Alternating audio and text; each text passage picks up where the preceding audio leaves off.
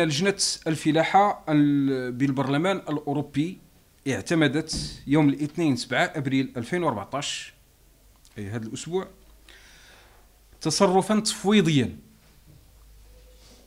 يقضي بتنزيل مشروع إصلاح التنظيم المشترك للأسواق والذي يشمل تعديلات بنظام أسعار ولوج الفواكه والخضر المغربية للأسواق الأوروبية.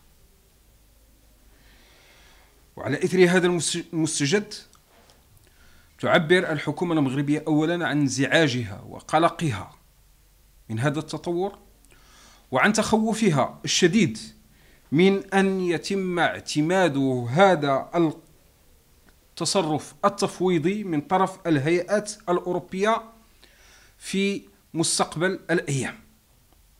ثانيا تعتبر أن هذا القرار يحمل معه آثار وانعكاسات كارثية على شروط ولوج منتجي الفواكه والخضر